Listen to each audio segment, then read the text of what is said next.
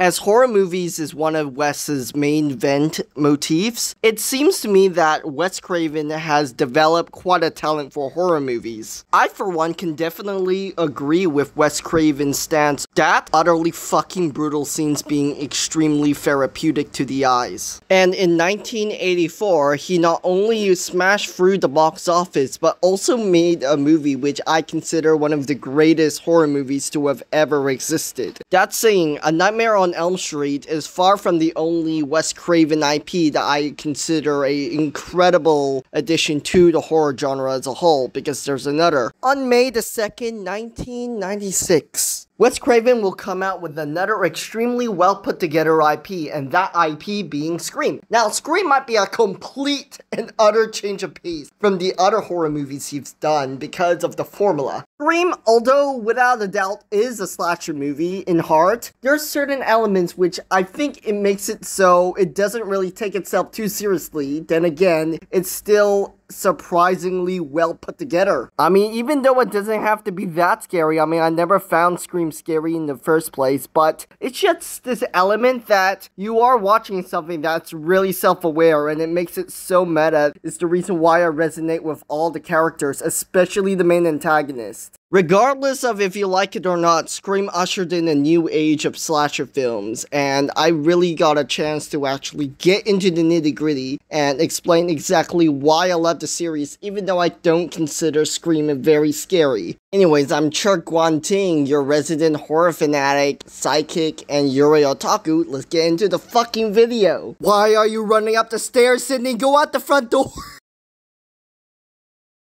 For one thing, the characters are written really well. And just like how Wade Wilson is for Marvel comic books, being meta as fuck, there is a lot of references to other slasher movies in Scream, which makes it extremely meta. And as always, the kills are absolutely fucking hilarious. If a film wants to take itself seriously, goofy kills will take the experience out of the whole thing, but in this universe, the goofy kills actually works and makes it incredibly hilarious to watch. I mean, with a lot of these other references to other slasher films, it, you can really tell that the killers in Heart are actually horror fanatics, making the whole universe very believable. I mean, in their universe, they also have kind of a slasher series called Stab, which I will kind of be getting into it if I do anything that's even related to the Scream universe. So this film follows a woman called Sidney Prescott, whose mother was raped and murdered to death after having an affair with Billy Loomis's father. Sidney's half-brother, Roman Bridger, filmed the whole thing. She also had a run-in with her cousin who also wants to kill her, donning the Ghostface mantle. It's really just one factor out of many that I feel like Sidney is getting the short end of the stick constantly. Anyway, Sidney Prescott was played by Neve Campbell. Ghostface, which is basically just a Father Death costume, is literally a mantle. You don the Father Death costume whenever you want to be Ghostface, which is intriguing because I could actually be Ghostface.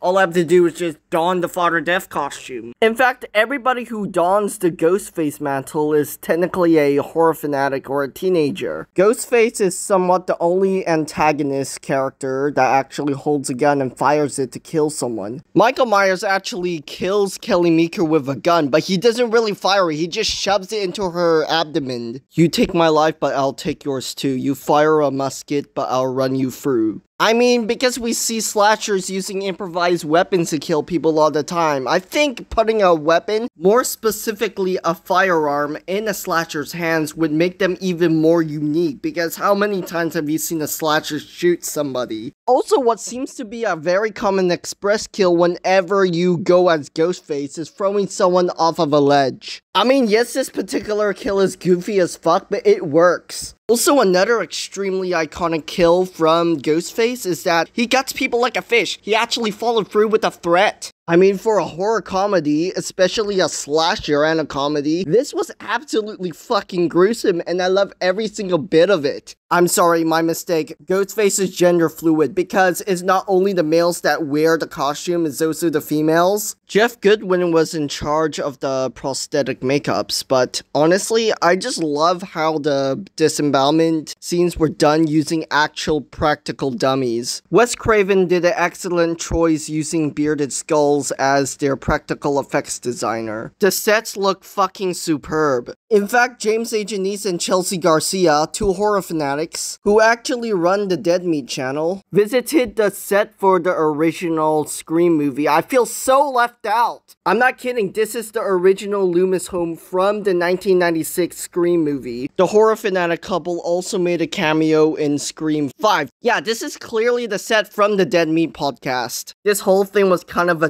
jab to the constant requels we now see, creating another timeline. I know Stab isn't really a horror franchise within my universe, but honestly, I'm just gonna do it anyways because, you know, meta. Why the fuck does Chrome Face have a flamethrower? I mean, there is no need for this, like, holy shit.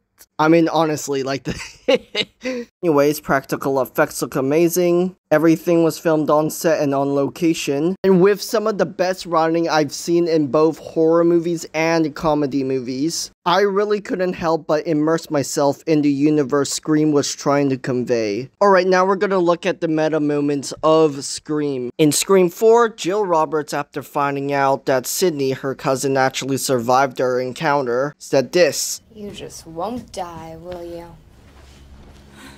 Who are you? Michael fucking Myers? In reference to Sidney's incredible ability to take punishment, a lot like the slasher, Michael Myers. In the first movie, it's shown that the janitor is wearing the official outfit for Freddy Krueger. And I'm talking about the 1984 getup, the one without the green stripe on the sleeves. They have a horror movie night. Like, I'm so fucking jealous. Where do I enroll in the school? And then there is also the there are certain rules one must abide by in order to successfully survive a horror movie, which is basic fundamentals if you ask me. So basically, the rules are you can't lose your virginity, you also have to be sober because it actually extends to rule 1, in which if you are high, you're more likely to have sex with someone. Third rule, the use of the phrase, I'll be right back, is basically jinx. If you say it, you will die. Jason Voorhees drowned due to neglect because the camp counselors were fucking, and for Michael Myers, well, you had to watch his sister get pegged in the cooch, if you know what I mean. Now, as a horror fanatic, Randy, I am deeply disappointed that you didn't actually follow through with what you said. I mean, just turn the fuck around. Ghostface is behind you. Alright, I'm just gonna turn around and Valorosaurus the King's behind me. I'm so fucked. Okay, thank God he's not there. There was another part where they actually were talking about sequels and how they ruin movies, and they started arguing about the line Ripley said during that power loader scene in Aliens. In the actual script written by James Cameron, it literally states, Get away from her, you bitch. It was entirely Wes Craven's birthday by the time I actually finished this recording. Anyways, thank you so much for watching this video. And thank you, Wes Craven, for all the positivity you brought upon the world directing horror movies. You are and will always be a legend when it comes to the horror genre. And with that out of the way, I think it's time to end the video right here and there. I'm Trick One Ting, keep venturing to the unknown, signing the fuck off.